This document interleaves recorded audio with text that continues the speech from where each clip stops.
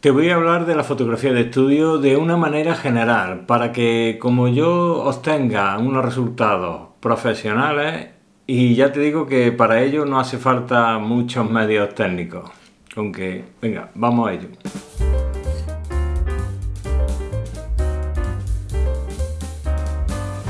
La fotografía de estudio es una forma de arte que requiere controlar la luz, el fondo, por supuesto nuestra cámara y la pose del sujeto.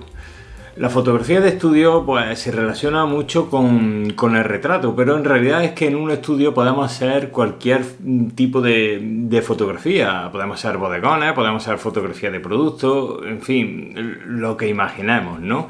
Aquí la luz la ponemos nosotros y según lo que queramos expresar, pues esta luz será dura o suave. Crearemos más contraste, menos contraste, crearemos sombras, como ya digo, sombras más duras o sombras más, más suaves.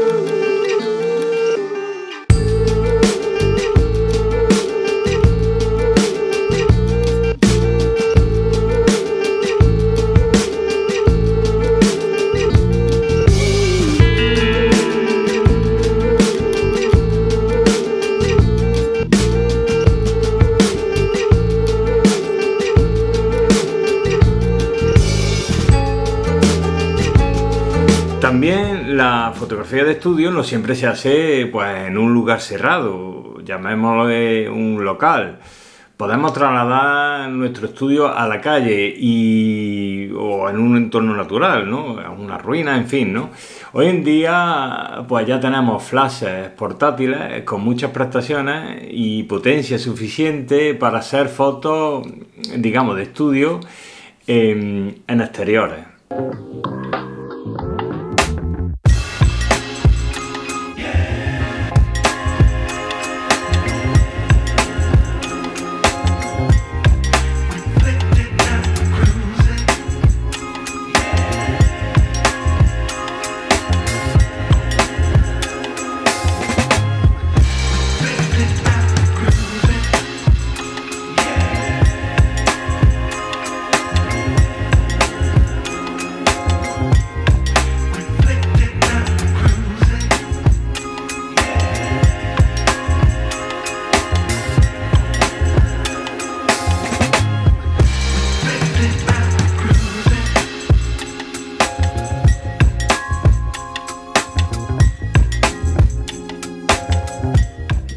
Fotografía de estudio no basta con saber manejar nuestra cámara y controlar la luz. Aquí se dan más factores, tenemos más cosas, ¿no? Y sobre todo cuando estamos trabajando con personas, ¿no?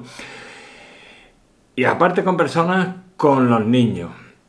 Debemos saber conectar con el que tenemos enfrente, ponernos en su lugar, eh, la empatía, ser paciente con los niños, eso es muy, muy importante, ¿no?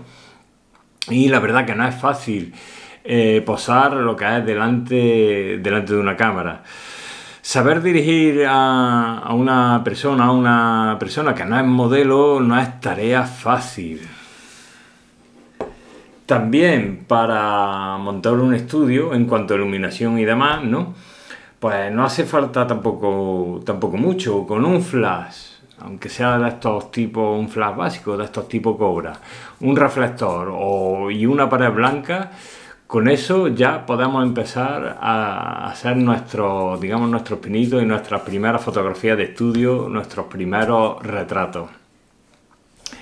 Vamos a ver cómo puede lograr resultados profesionales, resultados buenos, con un equipo básico y con un poquito de creatividad.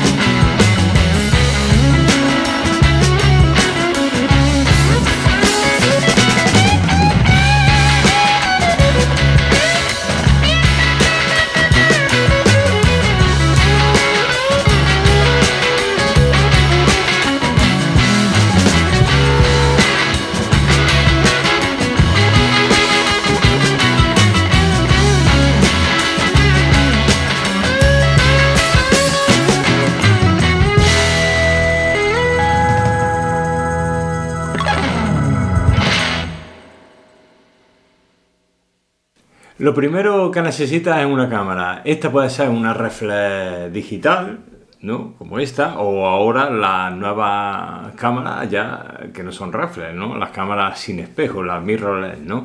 Incluso pues podemos utilizar lo que es un smartphone, un, móvil para, hacer fotografías de estudio.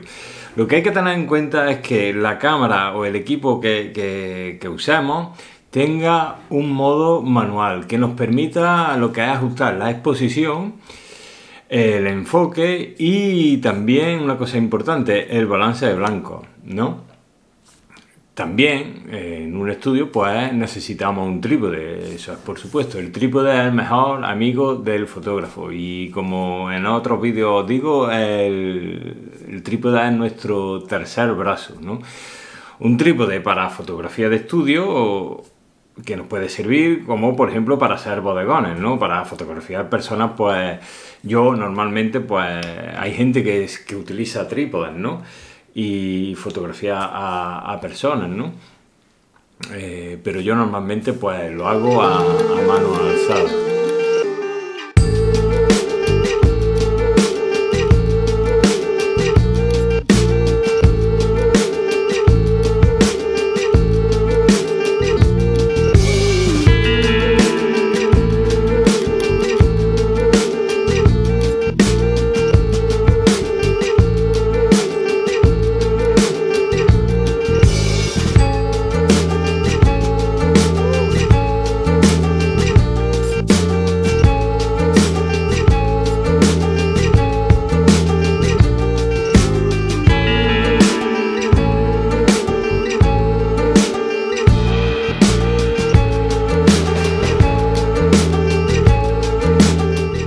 Lo segundo que necesita es una fuente de luz. La luz es el elemento más importante en la fotografía de estudio, ya que con ella vamos a crear lo que es el ambiente, como he dicho antes, vamos a crear contraste, vamos a crear sombras, sombras más suaves, sombras más duras, según lo que queramos expresar. Principalmente, pues bueno, pues en un estudio pues lo que se utiliza como fuente de luz son los, flashes. Podemos empezar con flashes como este, ¿no? Flashes tipo Cobra, ¿no? Los Speedlight, ¿no?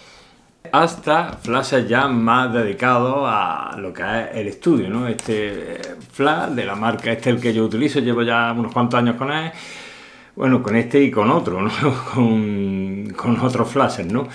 De la misma marca, de la marca, esta de la marca Meth, eh, un flash de 400 vatios. Eso sí, eso es lo, digamos, para mí lo mínimo, digamos, que debe tener un flash de estudio para, para hacer eso, fotografía de estudio. 400 vatios. Este es un flash que va pues, a corriente, no tiene no de, no de batería, ¿no? Ahora tenemos los, los flashes ya más nuevos de, batería, pues como este que tengo aquí. Este es de la, marca Newer, ¿no? Este es, mm, creo que es 200 vatios. ¿no? Y la verdad que llevo ya bastante tiempo también con él y lo utilizo en exteriores, también lo utilizo aquí en interior, en, en estudio. Y la verdad que, que, va muy, muy, muy bien, ¿no? Un flash a batería. Pero también podemos usar como fuente de luz, pues, lo que es una ventana, ¿no? Para, para, nuestro estudio. Si nuestro estudio, nuestro local, pues tenemos alguna ventana, pues esa ventana la podemos utilizar también como fuente de luz. Y hoy en día, pues tenemos lo que es la luz continua, ¿no? Lo que es la tecnología LED que también nos facilita y podemos ser con y ya bueno podemos ser con ella y venden ya lo que son focos específicos para, para fotografía y para vídeo. Incluso podemos utilizar hasta velas, ¿no? Cualquier fuente de luz nos sirve para hacer fotografía de estudio. Lo importante y lo que yo le pido a un flash para, para estudio es que tenga un modo manual. O sea, un modo que yo pueda controlar la intensidad, ¿no? El, digamos, el chorro de luz que, que nos puede dar ese flash. Si quiero más potencia o quiero menos potencia. Luego aparte también pues eh, al flash le acoplaremos lo que son los distintos accesorios para lo que es modificar esa luz, ¿no? Eh, tanto en dirección como en calidad. ¿no? Para ello, pues tenemos lo que son difusores, tenemos reflectores, tenemos ventanas, ¿no? que es lo que más se, suele utilizar eh, lo que es en estudio.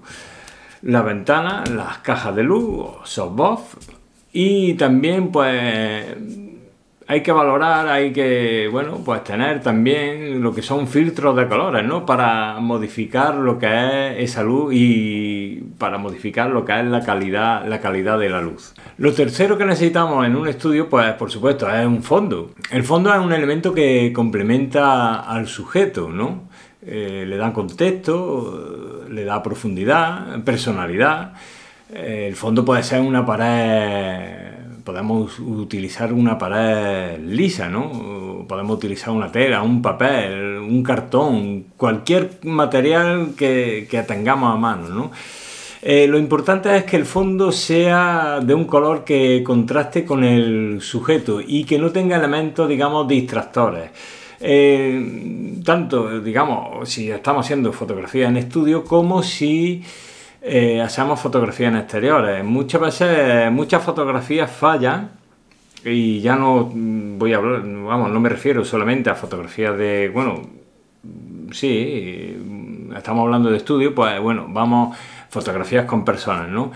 Eh, muchas fotografías fallan y no es por la persona ¿no? que, a la que estamos retratando, sino por lo que tenemos detrás. Yo soy una persona que me fijo sobre todo cuando estamos en exteriores eh, yo antes de, empezar a hacer fotos a, digamos, a una persona, ya me estoy fijando en, el fondo, ¿no? En lo que voy a poner detrás de esa persona, ¿no? Eh, si la pongo aquí, si la pongo allí, y que no haya ningún elemento, como he dicho antes, ¿no? Que, nos distraiga eh, del fondo. Entonces, pues es una de las cosas básicas que, que hay que tener en cuenta, ¿no? El fondo, sobre todo si estamos en exteriores, que no tenga, digamos, esos elementos distractores, ¿no? En todo estudio, pues considero que como mínimo tiene que haber dos tipos de fondos, ¿no? Uno blanco y, uno negro. Esos son, digamos, los dos fondos, vamos a decir, básicos para, para estudio, ¿no?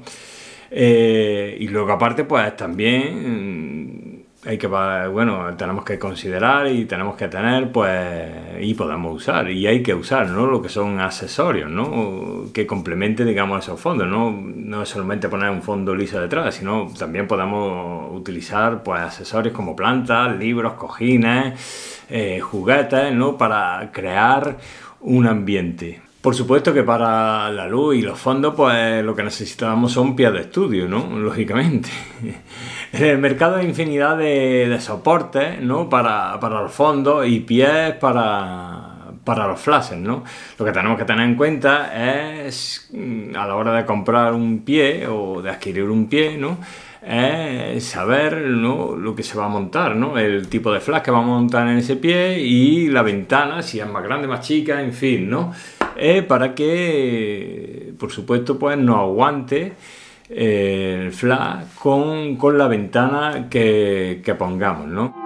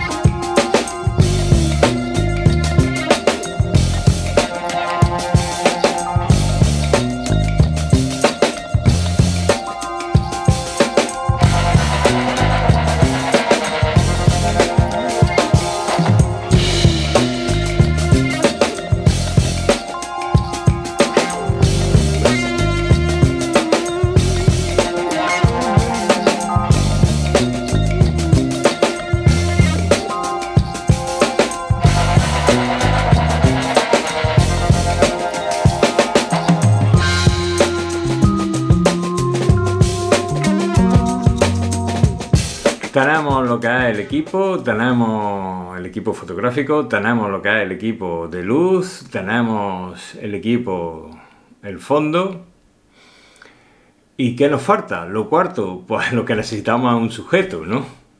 Normalmente en el estudio lo que vamos a fotografiar, como dije al principio, pues son personas, aunque también podemos fotografiar lo que son lo que son objetos o cualquier cosa, ¿no? Para el tema de, hacer bodegones o fotografías de productos, ¿no? Pero principalmente lo que, lo que fotografiamos, lo que vamos a hacer en estudio va a ser retrato y fotografía de, no sé, ya sea de moda o de cualquier... o retrato corporativo, en fin, ¿no? Lo importante, pues bueno, es que nuestro sujeto tenga una expresión, una actitud, una pose que, transmita ¿no? el mensaje que queramos comunicar.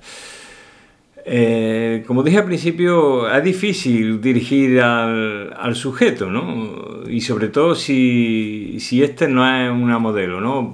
Pero bueno, eh, básicamente pues podemos dirigirlo para que mire a cámara o mire a un punto fuera del encuadre o, a otro elemento de, bueno, pues que tengamos en la escena, ¿no? Eh, aparte también pues a la hora de hacer fotos también podemos jugar con, el ángulo de, de, nuestra cámara, la distancia y la perspectiva.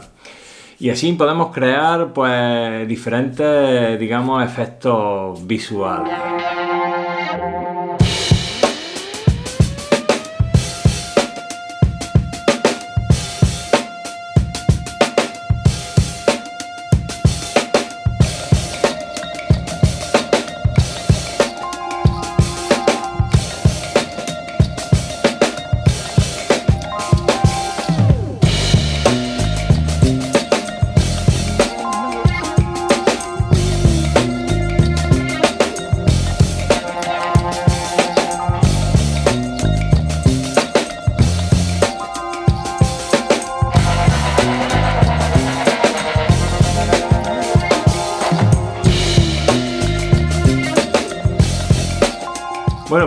Que ya tienes, digamos, todo lo necesario, como dije al principio, estoy hablando de una manera más general, ¿no? Para, empezar a hacer fotografía de, estudio, pues eso, ya puedes, pues con eso, digamos, ir empezando, ¿no? A, disparar, a hacer fotos.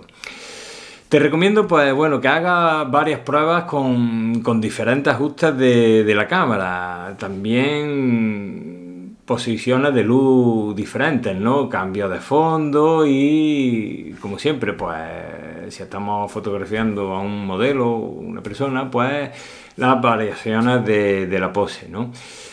Y, hacer muchas, muchas fotos, ¿no? Así podrás ver, bueno, pues qué, funciona mejor y qué puedes, qué puedes mejorar, ¿no? Recuerda que la fotografía de estudio, digamos que es un proceso creativo y experimental, así que, digamos, cuando empiezas no te quedas con la primera foto, sino siempre, bueno, intenta hacer más y cambia luces, pon aquí, pon allá, ¿no? Así que no, tenga, no tengas miedo de, probar y, hacer cosas nuevas. No tengas miedo. Con con un punto de luz, con un flash, con uno, nada más, ya podemos hacer fotos de estudio. Bueno, pues espero que este vídeo te haya sido útil y que, bueno, pues que hayas aprendido algo nuevo sobre la, fotografía de estudio. Y bueno, pues como siempre digo, si tienes cualquier cosa, cualquier duda, cualquier cosilla, pues me lo dejas por aquí por abajo, por los comentarios. Un saludo a todos, gracias por ver y nos vemos haciendo fotos.